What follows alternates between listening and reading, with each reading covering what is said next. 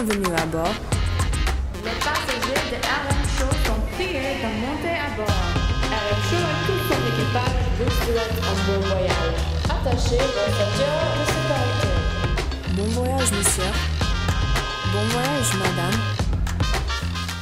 Bon voyage tout le monde les amis, ici c'est votre commandant de bord Roger Muntu, la voix de l'Amérique en direct de Washington, d'ici la capitale américaine. C'est un grand plaisir de vous savoir nombreux, comme vous le faites d'ailleurs chaque soir entre 20h et 21h temps universel. On continue bien sûr avec notre sujet de la semaine et toujours de la bonne musique et de l'ambiance dans RM Show. Attachez bien vos ceintures de sécurité car tout de suite on décolle.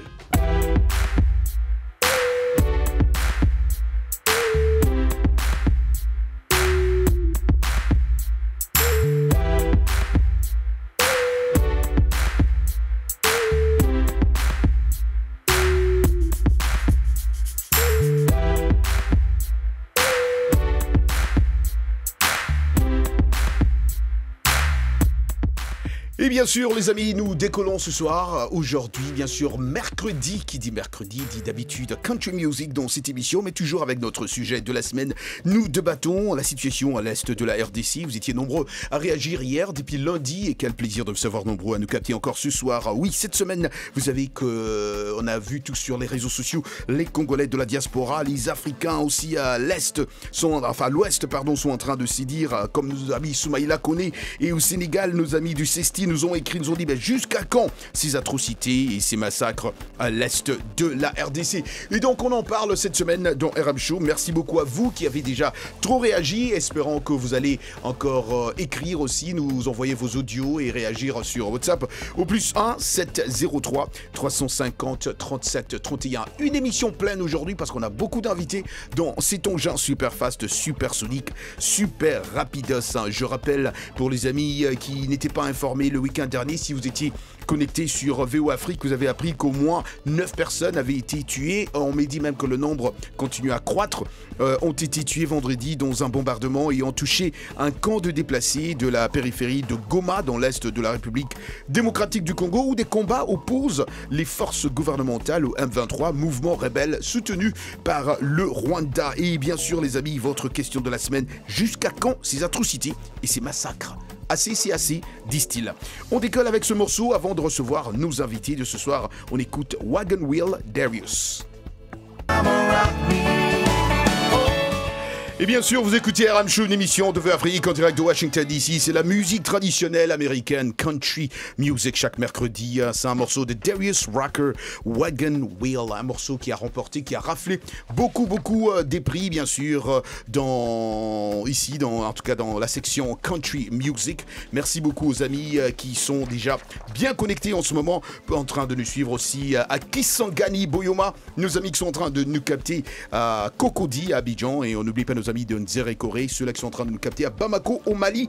Nous sommes ensemble. Écoutez notre sujet de cette semaine. Depuis lundi, les Congolais de la diaspora et du pays expriment une vive préoccupation concernant la situation dans l'est de la République démocratique du Congo, notamment euh, dans la région du Nord Kivu, en particulier autour de Goma.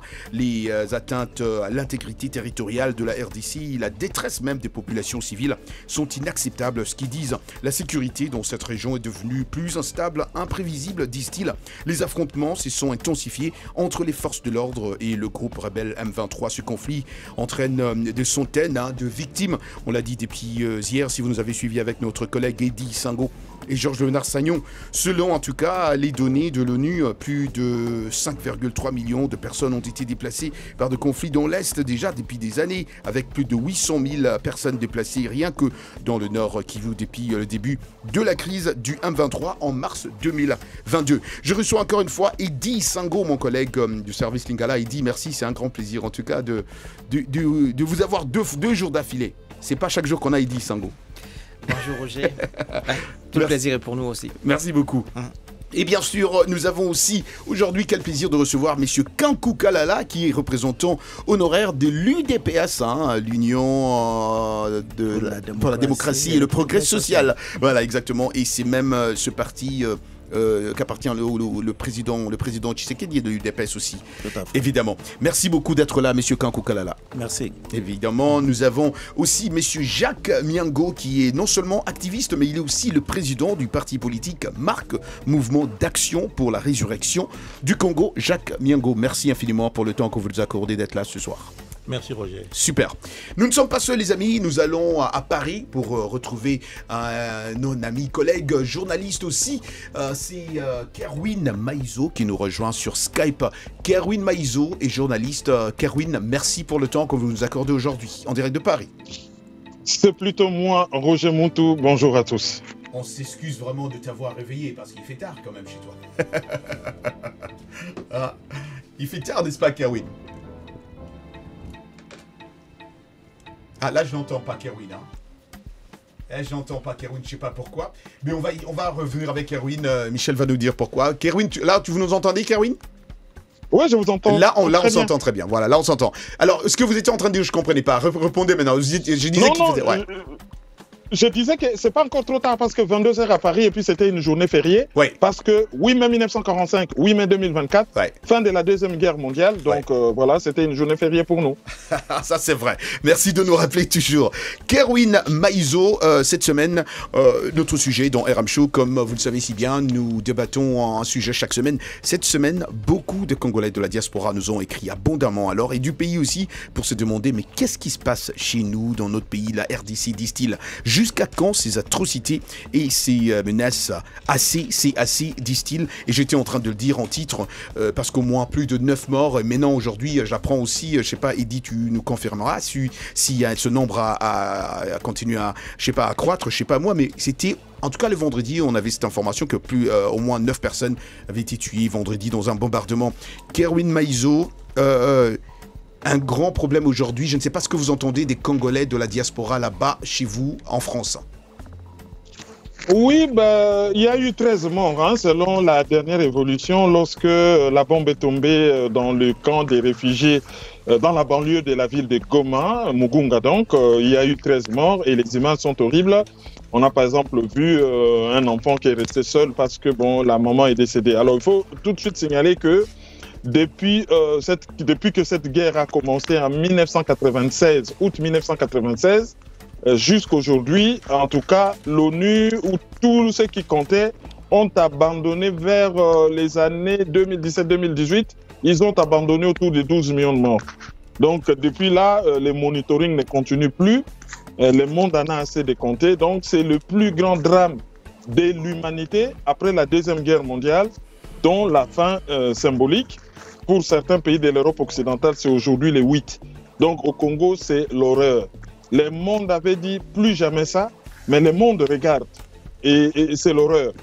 Euh, on tue, on viole. Il y a plus ou moins 7 millions de déplacés. Le nombre de morts, on s'est arrêté autour de 12 millions. Le nombre de viols, à une époque, il y en a eu jusqu'à 300 000 en une seule année. Donc c'est vraiment l'horreur et le monde ne peut pas continuer à regarder. Le Congo est un pays majeur, un pays au centre du monde, un pays qui peut apporter beaucoup de solutions, un pays qui est le moteur du développement de l'Afrique. Ce qui se passe au Congo, en rendant le Congo le ventre mou de l'Afrique, c'est toute l'Afrique qui régresse. Et si tous les autres Africains pensent que ça ne concerne que le Congo, ben, ils sont mais dans une très grande erreur. Parce que le Congo peut nourrir toute l'Afrique, c'est 80 millions d'hectares de terres arables c'est le lac le plus poissonneux du monde, le lac Tanganyika. C'est un des fleuves le plus miraculeux du monde, le seul fleuve à régime régulier au monde. Même si vous regardez ça sur le plan euh, spatial, c'est un pays qui est tellement bien situé au cœur de l'équateur. Le centre du monde se trouve au Congo, que si le Congo se réveille demain, c'est toute l'Afrique qui démarre et hmm. on ne doit pas snobber les Congo, il faut aider les Congo. Et, c'est ça, Kerwin, une, une, question encore euh, pour vous vite fait. Quelles sont d'après vous les circonstances qui ont mené au bombardement de, de, ce camp de déplacés à Goma? Ben, les circonstances, c'est déjà que la présence du président Félix Tshisekedi à Paris, ou avec le président Macron, il a, à juste titre, euh, condamné, demandé à ce que le Rwanda, qui est considéré par l'ONU et par beaucoup de sources occidentales comme étant les responsables de cette guerre, puisse euh, cesser euh, cette activité. Et la réponse du Rwanda, c'était que c'est un problème interne entre les Congolais et que, bon, le président Macron avait une vision parcellaire. Donc, du coup, euh, comme par enchantement, juste après, les camps de Mugunga est bombardé. Mais ça, c'est un message qu'on envoie à la communauté internationale que ce ne sont pas les incantations à Paris qui mettront fin à la guerre, mais une, selon, en tout cas s'il faut prendre du côté rwandais et du côté Union africaine, il faut une négociation sérieuse que le président Tshisekedi quitte la posture de dire publiquement qu'il ne négociera pas euh, avec le Rwanda, donc on va l'y obliger par les armes et c'est les, les, civils qui payent. Mais il faut tout de suite souligner quelque chose de très important. En droit international, le principe c'est les relations internationales où les conflits euh, internationaux doivent être résolus par des moyens pacifiques. Ça, c'est la Charte des Nations Unies.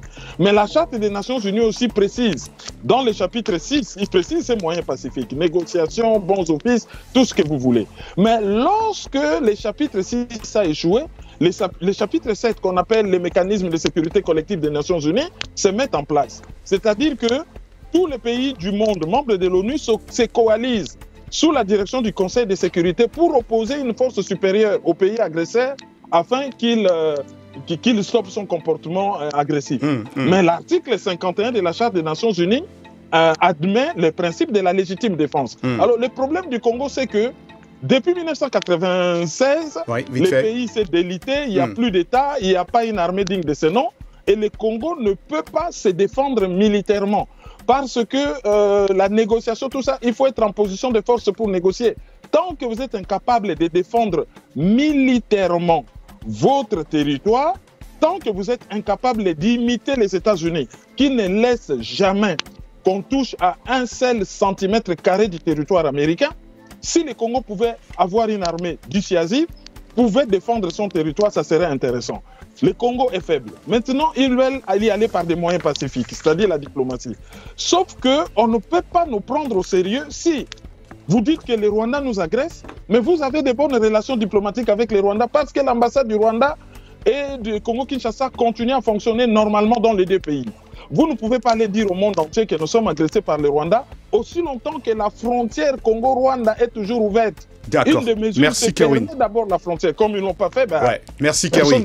Merci, Kerwin. On va, merci beaucoup. Restez là, Kerwin, parce que on va continuer à, à, en parler, bien sûr, avec nos amis ici euh, en studio, messieurs Kankou Kalala. Je rappelle que vous êtes représentant honoraire de l'UDPS. Vous avez entendu ce que Kerwin a dit. Euh, vous, je, je, vais vous laisser répondre à ce que euh, un, un, peu agir, parce qu'il a, il a quand même utilisé des mots forts en disant que la RDC est incapable militairement et, euh, et, si, si, si euh, votre parti qui est au pouvoir aujourd'hui, entendre cela, c'est quand même un problème, c'est un appel pour vous. Effectivement, je pense que notre ami a, ses raisons pour ce qu'il a dit, pour dire ce qu'il a dit, mais ce qui est en réalité est que euh, le Congo d'aujourd'hui, dirigé par son Excellence Monsieur le Président Félix Antoine Tshisekedi, est plus fort que le Congo d'hier. Parce que si vous remarquez, même ce qui fait que la communauté internationale puisse commencer maintenant à s'adresser ou à s'intéresser à ce qui se passe au Congo, c'est parce que la diplomatie mise en place par son Excellence euh, Félix Antoine Tshisekedi est en marche et, est en train d'apporter le fruit. Alors, dire que euh, l'armée congolaise est incapable, je, je, ne sais pas. Je pense que à un moment, vous avez entendu qu'il y avait des, réactions très fortes de la RDC et avec euh, euh, l'intervention des Sokoy et tout ça là. Donc, je ne pense pas que la diplomatie de privilégier euh, le dialogue pacifiquement, ce n'est pas une faiblesse. Je pense que son Excellence Félix Antoine Tshisekedi Chulon, président de la République, n'est pas lâche je pense qu'il est humain et c'est quelqu'un qui a des valeurs et qui tient à ce que les populations soient euh, protégées. Alors ce que les amis font, ils vont s'en prendre qu'à eux-mêmes. Parce que euh, effectivement, on doit prendre le monde en témoin. Et c'est pourquoi vous voyez de temps en temps, Son Excellence se déplace. Justement, c'est pour prendre ce monde-là en témoin. et il y aura, il y aura, un, moment où, on va tracer la ligne rouge. On, parlera aussi de ces déplacements là, mais vous parlez de réactions de la part du gouvernement. Ces Congolais qui nous ont appelés hier ici, on était avec Eddie et Georges, mes collègues qui sont à mes côtés, continuent à dire que ces, ces réactions sont sporadiques. Et, donc, ils ne voient pas exactement euh, euh, une réaction forte, en tout cas d'après les Congolais qui nous ont appelés hier. Mais aussi, euh, Monsieur Kankoukalala, parlons un peu de, de, l'apport de la diaspora dans ce problème. Qu'est-ce que comment la diaspora peut faire quelque chose à ce point? Parce que ce sont eux aussi qui nous ont appelés. Oui, tout à fait. Je pense que ça, c'est une question très pertinente parce que si vous regardez dans les annales de l'histoire, je suis sûr que la diaspora euh, a joué euh, le rôle très important dans les libérations de certains États, économiquement ou démographiquement. Alors, à ce qui se passe au Congo, je pense qu'il est temps pour que nous, les Congolais de la diaspora, nous puissions nous lever et dire non. Il y a plusieurs façons qu'on peut apporter notre support à ce qui se passe. Une de ces, façons, c'est peut-être faire entendre le voix, par exemple, de ceux qui sont au fond fond de Ituri et de l'Est là-bas, dans le monde. Nous, avons, nous sommes dans, dans la capitale des États-Unis, Washington. C'est là où les décisions du monde se passent. Mais qu'est-ce qu'on fait? On doit, on doit sortir, on doit marcher. Regardez ce que les gens font aujourd'hui pour les Palestine. Les gens sont en train de marcher, les, les universités sont Ce qui se passe à Gaza. Et... À Gaza et tout ça là. Alors, nous, nous devons aussi faire la même chose. Nous devons faire entendre le voix des Congolais qui sont à 7800, je ne sais pas combien de kilomètres loin de Washington. Nous sommes ici et nous devons le représenter et valablement. valablement. Euh, monsieur Jacques Miango, vous revenez de la RDC où vous faites beaucoup d'aller, vous êtes ici aux États-Unis, vous êtes à Kinshasa. Euh, vous avez votre parti politique, je suis en train de, le dire. Euh, qu'est-ce que vous entendez de la part de, la population? Et vous avez suivi ce que euh, Kerwin Maïzo venait de dire aussi, qu'il n'y a pas assez de, de, réaction de la part du gouvernement congolais. Vous revenez de, la RDC, votre point de vue? Ok, en fait, merci Roger, merci à nos invités, Kevin et M. Kankou. En fait, la question que nous partageons tous aujourd'hui, c'est la situation difficile que notre peuple vit il y a de cela plus d'une trentaine d'années. Et nous savons tous d'où est venu ces problèmes. Ces problèmes n'est pas initialement venu du Rwanda. Ces problèmes est venu initialement de ces pays où nous sommes. Et nous le savons tous. Et ce qui est touché aujourd'hui, c'est la RDC et sa population. Donc, euh, parlons aujourd'hui, par exemple, pour trouver la solution à ces problèmes, d'indexer seulement le gouvernement, ça, c'est fuir nos responsabilités. Je pense que c'est le problème de tous les Congolais. La solution doit venir de tous les Congolais et orientée par la diplomatie du gouvernement que nous avons trouvé du gouvernement passé. Il y a eu beaucoup de failles. Ça, je l'ai dit en tant que politique. Puisque le Congo étant à guerre, il nous faut une diplomatie de guerre et non une diplomatie d'office. Vous allez remarquer des tristes mais mémoires. C'est ce que les Congolais demandent, mais c'est ce qu'ils ne voient pas, disent-ils. Des tristes mémoires ici aux USA, 9-11, les cibles, c'était euh, l'image d'Amérique, Pentagone, euh, les Twin Buildings, donc euh, là où le président va en retraite, c'était les signes, ce n'était pas le département d'État. Donc la définition de la politique diplomatique aujourd'hui de la RDC ne doit pas se limiter seulement au département d'État, puisque le département d'État subit l'influence du Pentagone, que nous savons tous est dirigé par l'industrie euh, euh, d'armée. Comme ici en Amérique, on le sait très bien, le Congrès, tout le monde vit derrière ces machines. Et donc aujourd'hui, le problème de la RDC, vous êtes en train de blâmer les États-Unis Je ne blâme pas les États-Unis puisque le Congo peut accéder à ce que le Rwanda a. Si le Rwanda aujourd'hui s'élève et parle puisque le Rwanda a une relation très profonde avec les États-Unis, pas seulement au niveau du département d'État, mais au niveau du Pentagone. Et le Congo n'a pas cette relation-là. Je ne pense pas qu'il y a un attaché militaire au Congo depuis que Kabila est rentré au pouvoir. Donc c'était une façon d'affaiblir les Congolais, de, re- de- euh, de rester toujours en cette mode de- d'un peuple consommateur et non bâtisseur. Merci Jacques Miango. Euh, je vais laisser mon ami et frère, euh, collègue Georges Menassagnon réagir à tout ce qu'on vient d'entendre. hein. Je, je sais que vous avez beaucoup à dire, mais vous avez suivi un peu nos collègues, Kerwin, M. Kalala et euh, M. Jacques Miango. Oui, euh, salut Roger, et je salue nos invités qui sont avec nous. Euh, je salue notre ami Kerwin euh, qui est en ligne euh, de Paris. Euh, Roger, nous avons le Congo en commun, l'Afrique a le Congo en commun. Si on perd le Congo, on a perdu l'Afrique. Si on perd le Congo aujourd'hui, on a perdu en quelque sorte l'humanité parce que c'est le plus, le pays, le plus grand pays aujourd'hui en Afrique. Avant, c'était le Soudan. Quand les deux, le, le Soudan a été découpé en deux, c'est maintenant le Congo, avec ses millions et des millions de, de population. Et donc, euh, j'aime bien ce que le représentant de, je crois, le- du DPS a dit. Monsieur Kalala. Voilà, Monsieur Kalala. Euh, Hier, je vous le disais ici, la diaspora a un rôle à jouer. Oui, et c'est maintenant. ce que vous et c'est maintenant. ouais. Puisque une guerre, c'est- coûteux, Roger. Une guerre, euh, c'est de l'argent, c'est de l'économie. Mais cherchons la cause de la guerre. Si la guerre n'arrive pas à s'arrêter aujourd'hui, pourquoi ça ne s'arrête pas? C'est parce qu'il y a des industries qui l'alimentent, qui puisent. Et donc, pendant que les Congolais et les- le M23 se battent, puisque le Rwanda, il faut le mettre de côté, le Rwanda dit que ce n'est pas, pas lui qui est derrière la guerre. N'est-ce pas, le M23? Même si un rapport ou les rapports des Nations Unies ont démontré que le Rwanda est impliqué. Nous, en tant que journalistes, on ne peut que dire que, bon, on, on se fie au rapport des Nations Unies. Au fait, ouais. Et donc, au fait.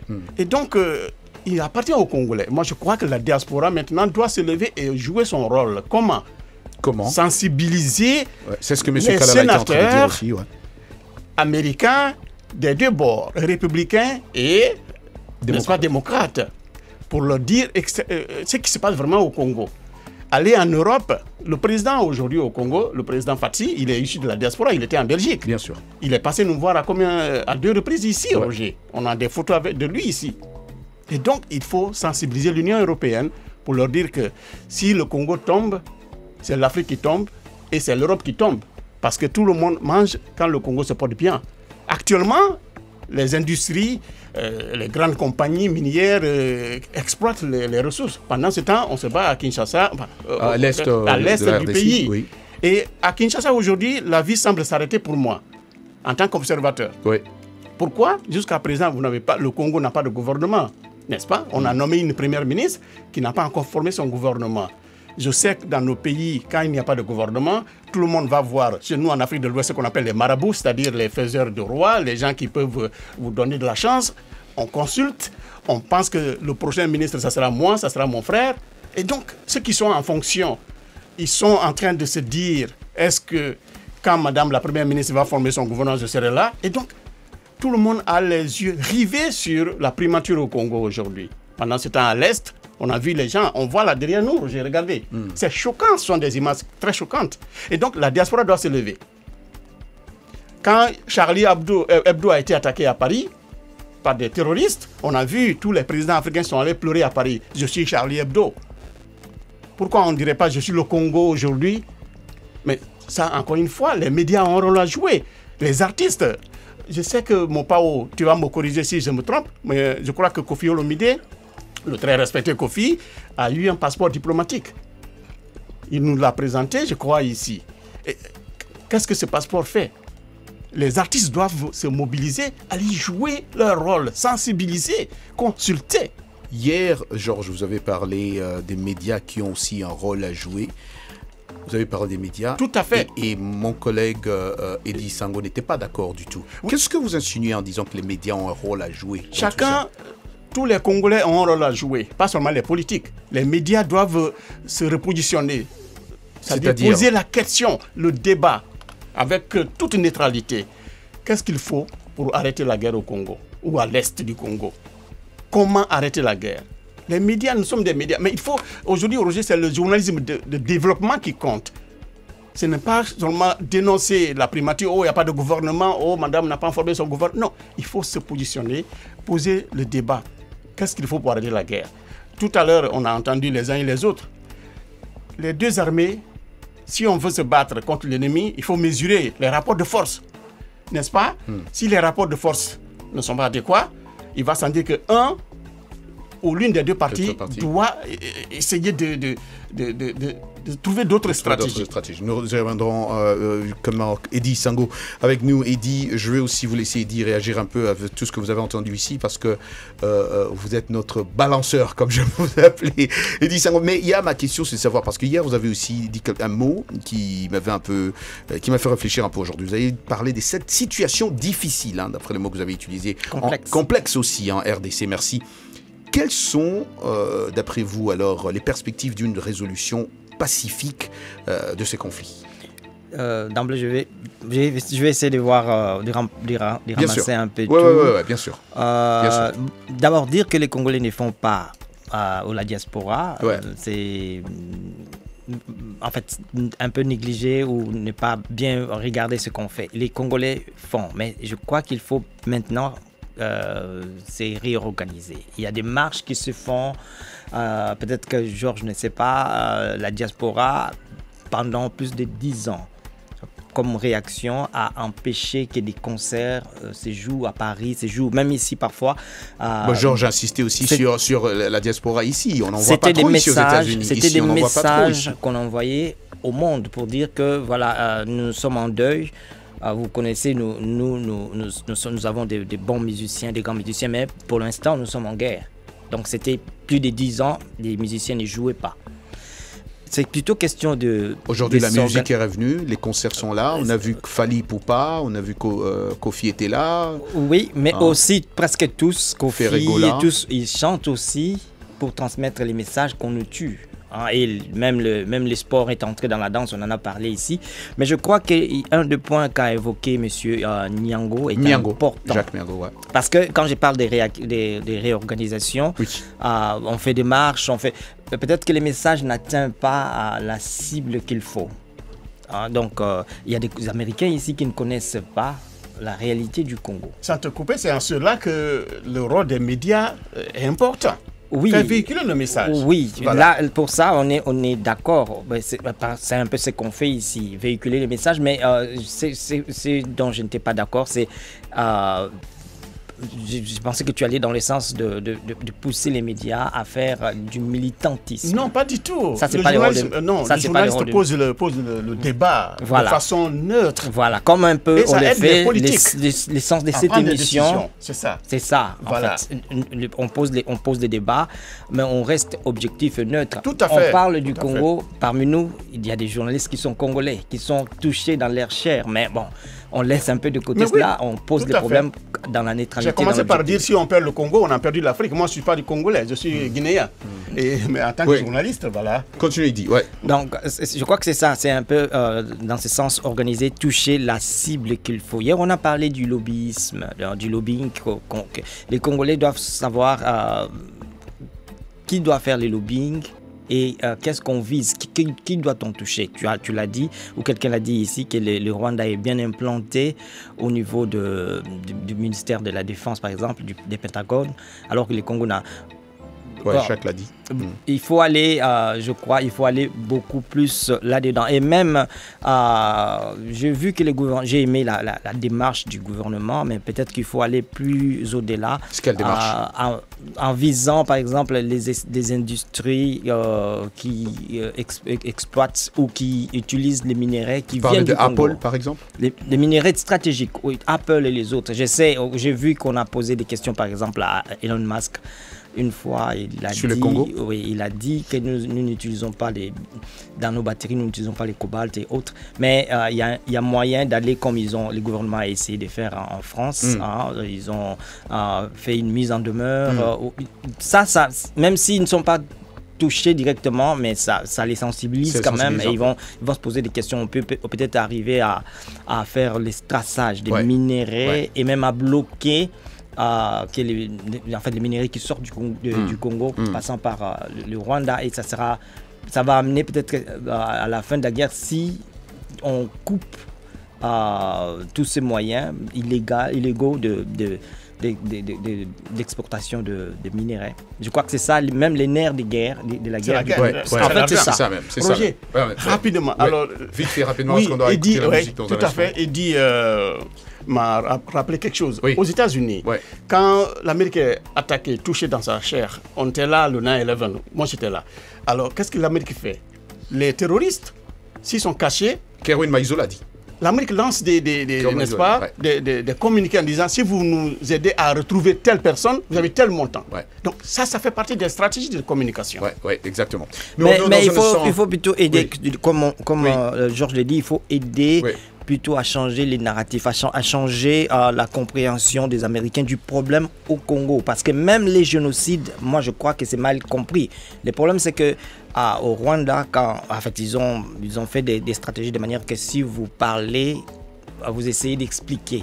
Mais est-ce qu'aujourd'hui, on peut quand même dire que l'Américain commence à comprendre? Un- un tout petit peu. En tout cas, cette année, c'est pas comme l'année dernière. On voit qu'il y a un progrès de, de- de comprendre ce qui se passe exactement au Congo. Parce que, effectivement, oh, euh, oui, mais- comme vous l'avez pas dit, assez. comme vous avez dit, oui, pas assez, mais il faut dire que ces Congolais de la diaspora que vous avez dit font de marches, euh, sensibilisent. Et donc, ça fait partie de cela aussi. Hier, on pas, pas, n'est ouais. pas allé en profondeur, On mais va- tu- on- a parlé essayer de. Congolais qui, qui étaient au, Qui était au au- au congrès, qui- parlent de, Ouais, on en parlera d'ailleurs. Michel, on va prendre un petit break avec la musique. Nous revenons dans un instant. Respirons un peu parce que je sens la tension entre Georges et Eddie ici. Nous revenons dans un instant.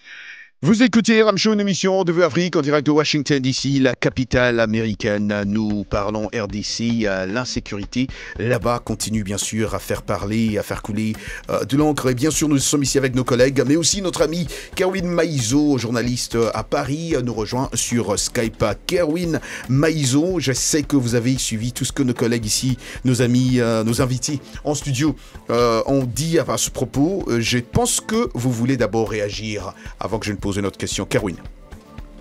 Bon, ma première réaction, c'est que la diaspora congolaise fait beaucoup. Déjà ici en Europe, elle a été euh, qualifiée par la télévision, par une des télévisions françaises, je crois Canal+, de diaspora la plus militante d'Europe. On a organisé des manifestations, on a bloqué des trains, on a ramené nos enfants à la BBC à Londres, on a mis Bruxelles sens dessus, sens dessous, on a bloqué le plus grand boulevard d'Europe qui est le boulevard périphérique à Paris, 40 km, je crois 55 000 voitures par heure. Qu'est-ce qu'on n'a pas fait? On a manifesté. La diaspora, son rôle, c'est le lobbying. Le lobbying, on l'a fait. On a écrit des mémos envoyés partout, à Moscou, en Chine, en Union européenne. La dernière, c'est la lettre ouverte que un collectif de Congolais ont écrit sous la direction de Maître Reti Amouli, qu'on a envoyé à l'Union européenne sous forme de livre blanc, mais c'est une lettre ouverte de 55 pages où tous les dossiers possibles sont là-dedans. On a contacté les parlementaires. Moi, personnellement, j'ai fait des émissions, j'ai fait des conférences dans tous les pays européens, de l'Italie jusqu'en Suède, en passant par le Danemark, la Finlande. Je l'ai fait en Amérique depuis le Canada jusqu'aux États-Unis, à Chicago. On a fait des conférences de lobbying, ça on l'a fait. Donc la diaspora congolaise manifeste, sauf que les intérêts derrière sont tellement énormes que on nous étouffe. Il y a des manifestations, si vous voyez les télévisions arriver, mais les soirs, ça ne passe nulle part, c'est étouffé, parce que les chaînes de télé ont peur en se disant que si on fait passer la manifestation des Congolais, l'industrie de l'électronique et pharmaceutique ne fera plus passer euh, la publicité sur leur chaîne. Ça, c'était en tout cas la première réaction que j'ai faite. La deuxième réaction, c'est que quand on nous parle de diplomatie, ah, on a déposé plainte contre Apple. Mais ce n'est pas ça la solution. Il y a un rapport mapping qui a été produit qui dit que devant un tribunal, on peut con- considérer les 613 euh, massacres euh, qu'il y a eu, 600, je crois 613 ou 600, un peu plus de 600, on peut les qualifier de crimes de guerre ou de génocide.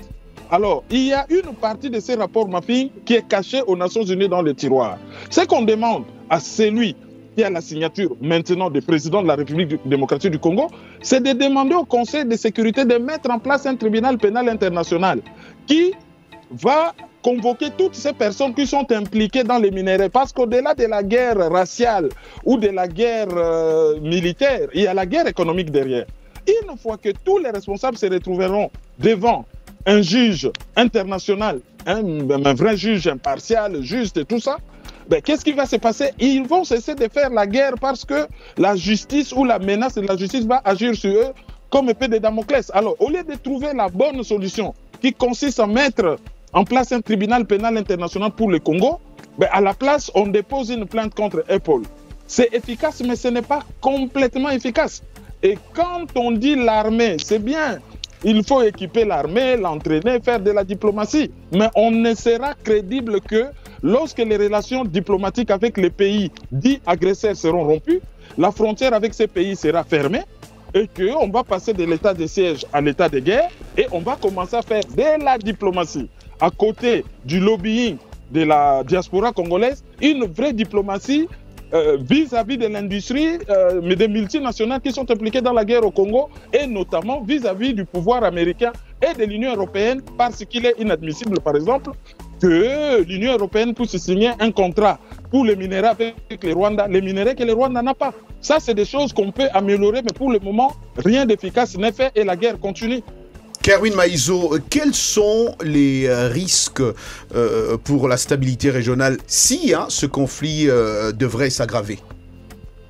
Le risque, il est énorme. Le Congo est un pays pivot euh, tellement bien situé avec neuf voisins que si on déstabilise, on déstabilise encore plus le Congo avec ses 115 millions d'habitants et que les gens commençaient à, fuir le Congo dans tous les sens, le Congo-Brazza sera déstabilisé, la Centrafrique va s'effondrer, l'Angola va connaître une insécurité croissante, la Zambie ne pourra pas supporter, et même le Rwanda, le Burundi. En tout cas, ça va déstabiliser tous les pays. Or, si on pacifiait le Congo, mais ça sera une formidable opportunité d'affaires pour tous les pays, les Congo y compris, parce que là, il y aura des échanges commerciaux, euh, ça sera des partenariats gagnant-gagnant. Tout le monde peut voir clair. Parce que ce qui se passe là actuellement, sur le plan humain, ça devient tout simplement intenable. Je vous ai parlé de plus de 12 millions de morts. Mm. Je vous ai parlé de 7 millions de déplacés internes. Mm. Je vous ai parlé de euh, des milliers de viols comme armes de guerre. Et sans compter tous ces trafics de minéraux sensibles qui peuvent se retrouver entre les, mauvaises mains. Et vous savez ce que les mauvaises mains peuvent en faire. Ça va augmenter le terrorisme. Et, et ça, c'est pas tout simplement possible. Donc, ceux qui sont impliqués au niveau des pays occidentaux, c'est-à-dire les multinationales, il y a possibilité de faire euh, un commerce équitable et propre au niveau des mercenaires de la région des Grands Lacs, parce qu'il y a des États mercenaires, qu'ils comprennent que le mercenariat, c'est une infraction. Il n'y a pas d'avenir pour un pays à être le mercenaire des puissances occidentales. Il n'y a pas d'avenir par rapport à cela. Euh, ce que ces pays pouvaient faire, c'est de chercher à, construire la paix. Parce qu'avec la paix, tout le monde est gagnant. Voilà ce que je peux vous dire. Merci Kerwin, restez avec nous, euh, messieurs Kanko Kalala. Vous avez suivi ce que euh, Maïzo vient de nous dire. Alors, euh, votre pouvoir en place, que faudrait-il pour parvenir, euh, monsieur Kanko Kalala, à une résolution durable, c'est ce que le peuple demande, de ce conflit et, la protection même de ces civils qui en souffrent chaque jour ici. Nous, nous en parlons ici à Voice of America. Ces civils qui sont vulnérables, monsieur Kanko Kalala, dans la région de Goma en particulier. Tout à fait. Je pense que, comme euh, vous êtes en train de le dire, euh, le Congo a connu ce qu'il est en train de vivre aujourd'hui pendant plus longtemps.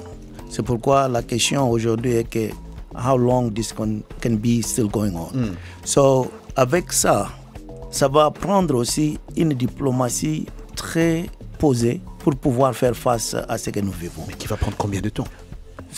Je vous dis qu'il y a un changement parce que ce qui se passe, comme on a dit tout à l'heure, le monde entier parle, parle maintenant du Congo, mais il y a six ans, on n'en parlait pas. Et il y a six ans, à l'ONU ici, on avait un représentant qui était de la RDC, mais c'était un Rwandais. Ok? Donc les masques commencent à tomber. C'est-à-dire que nous sommes, la politique du gouvernement est de sécuriser et protéger nos populations. On ne va pas encore leur, le mettre devant euh, des difficultés qui, qui- qui- plus que ce qu'ils ont déjà vécu.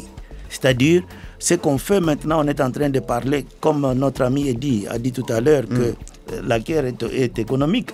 Alors, vous voyez, par exemple, l'Union européenne va signer le contrat avec le Rwanda pendant que le Rwanda n'a pas ses minéraux dans son, dans son sous-sol. Alors, pourquoi ils le font? Les États-Unis voient ça. Je pense que Georges a dit que, non, c'est dit qu'il a dit encore que les États-Unis, ils font quelque chose. Il y a des voix qui se lèvent, mais ce n'est oui. pas assez. Oui, oui. Alors pour que cela soit assez, je pense que la diaspora a un rôle à jouer. Nous devons maintenant éduquer, pas le politicien américain, mais nous devons éduquer la population ordinaire américaine. Parce qu'un jour ou un soir, quand un parent politicien est assis chez lui, son enfant lui pose la question, mais j'ai entendu qu'on a violé, on a tué à l'est de l'RDC, papa, qu'est-ce qui se passe? Je pense qu'à ce moment-là, les choses vont changer. Les choses vont changer. Euh, Jacques Miango, vous voulez réagir aussi là-dessus? Ok, euh, je vais seulement ajouter un peu et Oui. puis en fait à mettre un peu, comment dirais-je, la sauce à ce que je dis. Oui. Ah, on a entendu parler ici en guerre économique. Oui, guerre économique, euh, ce qui veut dire l'a dit. une guerre économique nécessite une diplomatie économique. Et quand aussi on est en guerre, on a aussi besoin de cette diplomatie, que cela soit aussi une diplomatie militaire. Le fait d'acheter des armes ne suffit pas, mais à un niveau que personne ne s'y trompe. Soit c'est la Russie qui te donne l'ordre d'envahir un pays, ou c'est les États-Unis qui te dit allez-y, je suis derrière toi. Et aussi, c'est que le Congolais, ceux qui sont au gouvernement, Et donc vous pensez que ce sont ces grandes puissances qui sont derrière, qui poussent le M23 oui, puisque le minerai du Congo se vend où? Ce n'est pas en Afrique. Les bénéficiaires sont ici.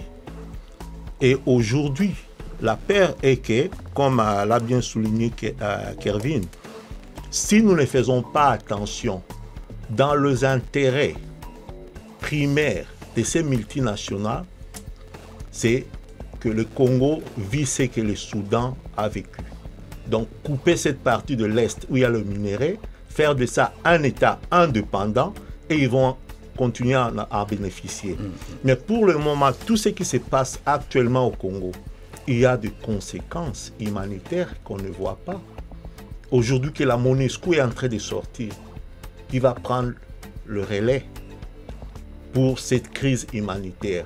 Et je pense qu'à nous tous Congolais qui sommes ici dans la diaspora, avant l'époque, on s'y doutait de nos ambassades. Il n'y avait pas une bonne relation. Mais maintenant, on a quand même des ambassades. On a vu en Haïti. Tout ce qui est parti en Haïti pendant le désastre ne venait pas seulement de l'armée, euh, du gouvernement américain, c'était des privés qui ont contribué et puis envoyé. Et pourquoi pas nous ici aux États-Unis, au lieu de se limiter seulement au discours, de contacter notre ambassade, d'avoir un compte bancaire spécialement pour répondre à certains désastres que nos parents vivent au pays, un compte humanitaire pour la RDC.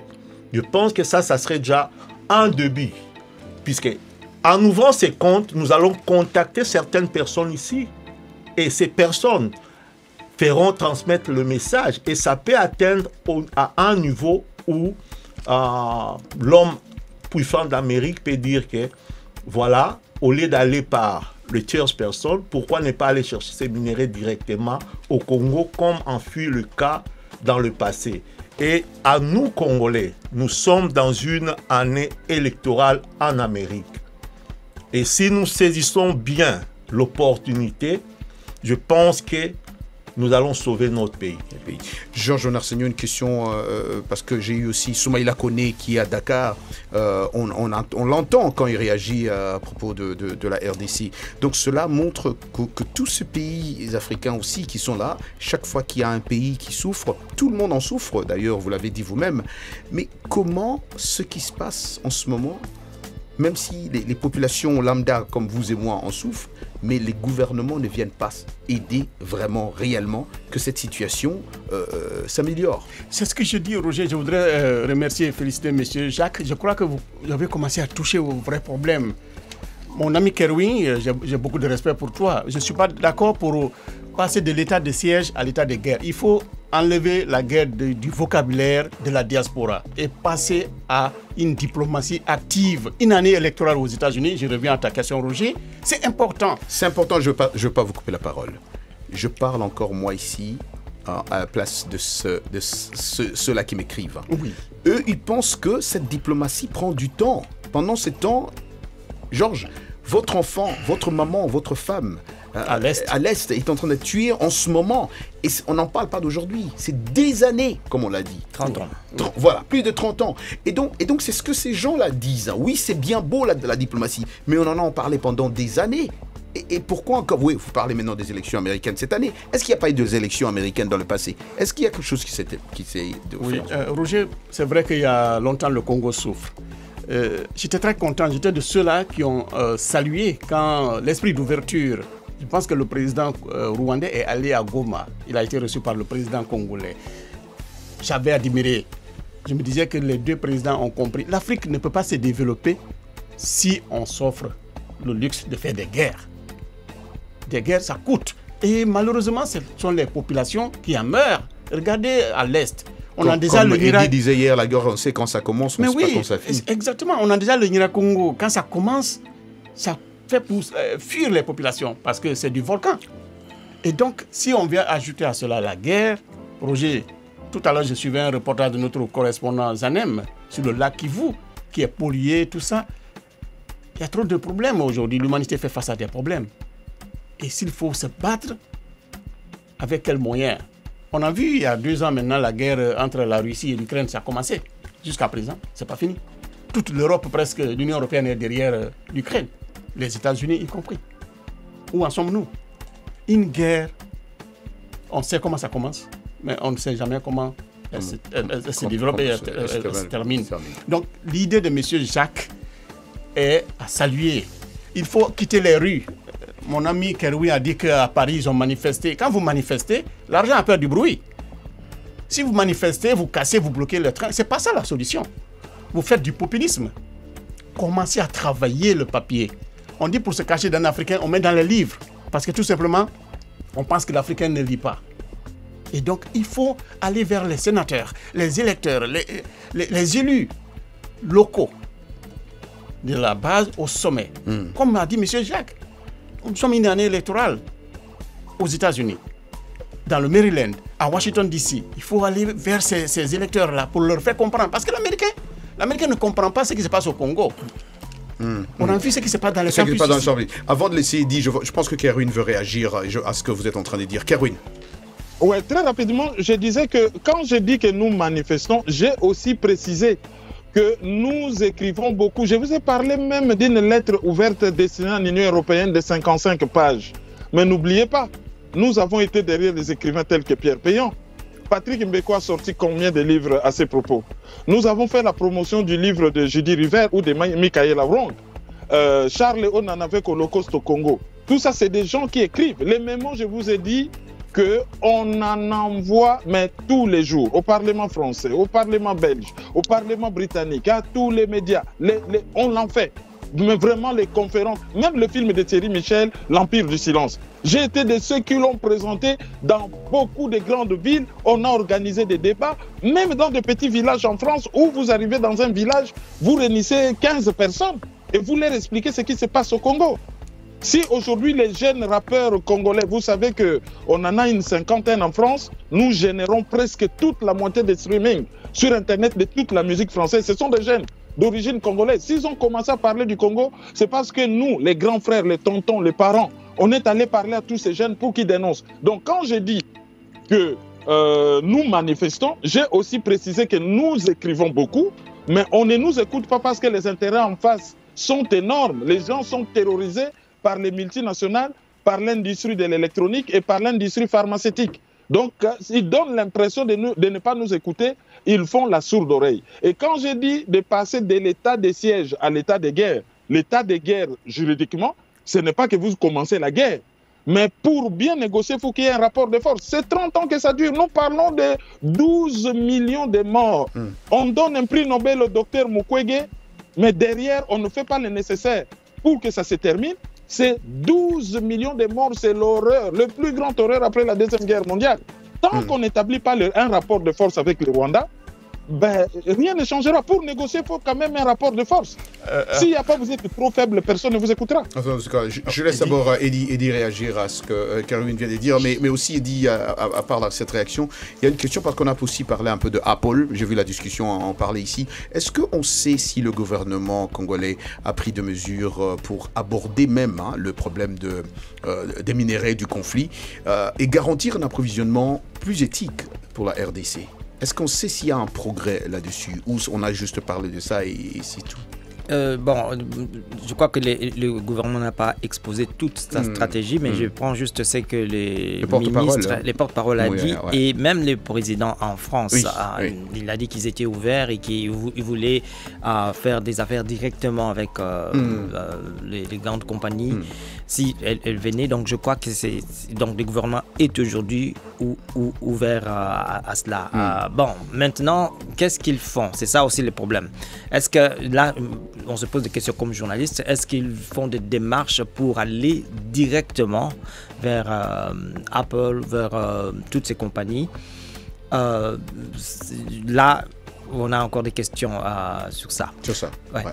Bah, autre chose, Ouais. Kerwin a dit que, y a, oui, tout à l'heure que, euh, que le, la, démarche à mener, c'est porter plainte à la CPI ou quoi. Mais je sais aussi que le gouvernement, à un moment, le ministre, la ministre euh, de la Justice avait parlé d'une plainte à la CPI. Mais je ne sais pas où on en est aujourd'hui. Elle est allée à la, à la CPI, je me rappelle bien qu'on a rapporté ça, mais euh, est-ce qu'ils sont, ils ont, sont allés jusqu'au bout? Question mark. Question mark. Euh, un fait aussi, parce que euh, Kerwin a parlé de, je crois, 12 morts aujourd'hui. Ocha, Pas 12 morts. non, non, 12 millions. Ocha a annoncé que Ouais. le- aujourd'hui, Treize. les décomptes est à 18 morts Ouais. à, à Mugunga. Ouais, donc euh, 18 morts aujourd'hui, donc ça a encore augmenté. Mer- Merci, merci pour cette information-là.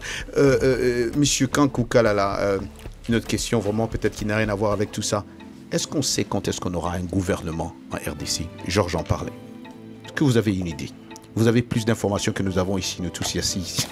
Non, ben, avoir une idée, oui, mais je ne suis pas le représentant du vrai, gouvernement. c'est vrai, mais vous avez Alors, peut-être des infos que nous n'avons pas. euh, comme vous le dites, je pense que le président l'a dit d'ailleurs quand il était euh, à Paris, que euh, le fait que ce gouvernement tarde à sortir, ce sont des effets de la lourdeur que notre constitution nous impose. Et on parle même d'un possible changement, euh, d'une possibilité de changer euh, la Constitution. Est-ce vrai au fond? Non, mais quand vous voyez, vous remarquez que ça prend cinq mois pour qu'un gouvernement soit mis en place, il y a un problème. Donc, euh, il- la Constitution a été euh, mise en place comme euh, un tenue taillé sur mesure. Alors, on ne peut pas venir s'asseoir dans une fauteuil qui, qui n'était pas fait pour toi. Tu dois te faire de l'espace. Donc tout le monde qui vient change la Constitution. Non, Hmm. parce qu'il y a des choses qui sont vraiment, comme par exemple cette histoire de, de- de partis politiques, de majorités, tout ça là. Qu'est-ce que ça a à faire avec un président de la République qui a été élu avec plus de 70% des voix? 70 pour nos amis. qui nous 60 appellent. Ouais, 76,47 Ouais, ouais. 48. Alors, pourquoi lui doit être maintenant victime de ces blocages politiques? Et n'oubliez pas qu'il y a toujours l'espace des référendums et tout ça là. Donc, il y a, à un moment, comme euh, les amis le disent, enough is enough, c'est dans tous les sens. Dans tous les sens. Mhm. Vous voulez réagir là-dessus sur la, la question de la Constitution vite fait? Oui, oui, Roger. euh, il y a une- une en chose, une minute, en une minute, je ouais. dirais ceci. Oui. Le Congolais doit être conscient de sa vie. S'il veut vivre d'une constitution aux intérêts nationaux, je pense que ça mérite d'être changé. Et ça, je ne sais pas pourquoi même le chef d'État en dire, euh, prend le temps pour le faire, puisque être nommé, euh, voté président de la République, tu as la majorité, mais au sein de la majorité, il commence à voir cette histoire de qui a plus de députés, qui n'a pas, et qui paye le pot cassé. C'est le peuple. Regardez la situation que nous sommes aujourd'hui. Donc le gouvernement ne peut même pas s'y engager, puisque l'ancien gouvernement ne fait que remplir le rôle des affaires courantes. Et c'est vraiment, vraiment l'idéal pour le pour Congolais de, d'avoir une constitution répondant aux besoins de, de la population. Roger, rapidement. Qu'est-ce que vous en pensez? la diploma- Non, Une pas minute. de gouvernement. Je ne parle pas de gouvernement. La diplomatie pour Oui. parler de la guerre. Vite fait, ouais, dans C'est le meilleur moyen. Ça prend du temps. Regardez Ouais. Cuba et les États-Unis. Ça a pris du temps. Mais le président Obama avait débloqué. Avait débloqué. Entre l'Éthiopie et l'Érythrée, Ouais. même le téléphone ne passait pas. Ouais. Quand le Premier ministre Abiy est arrivé, il a débloqué. Et donc, Monsieur Jacques, son, euh, son idée, elle est louable. Il faut que les Congolais commencent à, à financer euh, les efforts humanitaires. humanitaire du pays. euh, du pays. Euh, vite, fait d'abord, Eddy, je vais revenir sur ce, ce changement de la Constitution. Ah, euh, Qu'est-ce que vous voulez réagir là-dessus? Ça, ça fait débat. Ça fait débat, Ça fait débat, Oui. mais moi je pense que, euh, bon, en fait, les systèmes proportionnels Ouais. ne devraient pas poser problème. Ouais. Monsieur, notre ami de l'UDPS, l'a dit, mais la crainte Monsieur est Kalala. aussi que, non, monsieur Kalala, euh, la crainte est que, que l'on fasse un- une autre constitution sur mesure, taillée sur mesure. Aujourd'hui, on dit, ah, c'était, mm, il a, il a utilisé les termes, ok, euh, les fauteuils qui n'étaient pas faits pour Fait pas- sur mesure. mais maintenant, on, va-t-on faire Ouais. un, un fauteuil qui sera sur Sur mesure, de-. Non, je Mais- crois qu'on doit être impersonnel. On doit faire quelque chose pour résoudre les problèmes les fondamentaux que les, Congolais ont Oh, aujourd'hui. Merci Eddy. Laisse-moi euh, laisser à la dernière euh, phrase à, à, à- à Kerwin Maïzo. Kerwin Maïzo, changement des constitutions. Le problème, c'est le respect de la Constitution et non les changements de Constitution qui pourra intervenir un peu plus tard parce que cette Constitution dite des belligérants a beaucoup d'états. Mais est-ce que, mais vous reconnaissez, pour- vous reconnaissez, Kerwin, que dans cette constitution, il y a des failles? Vous êtes d'accord avec ça ou Il y en a. Il y en a beaucoup, notamment en ce qui concerne la nationalité. L'article 217 qui dit que le Congo peut céder une partie de son territoire au nom de l'unité africaine Hmm. et au coup qui reconnaît une quelconque minorité au Congo. Nous sommes 450 ethnies, il n'y a pas de minorité. Hmm. Tout ça, c'est des choses à changer, mais l'opportunité aujourd'hui, ce n'est pas celui-là, c'est d'abord de respecter fait, la constitution qui Ouais. existe Ouais, et après, on Ouais. pourra voir un changement vite un peu fait, plus tard. Quelques secondes. Voilà. Ouais. Merci Kerwin, merci Kerwin Maïzo, merci à Kankou Kalala, merci à Jacques Biango, merci à Georges Léonard Sagnon, merci à Eddy Sango, merci à, Djumbe, merci à Michel Joseph. Michel qui nous a fait la vidéo, je sais pas, c'est Ro- Rob McLean, merci à Rob McLean. Merci à vous qui êtes restés à l'écouter cette émission. God bless. Peace Africa.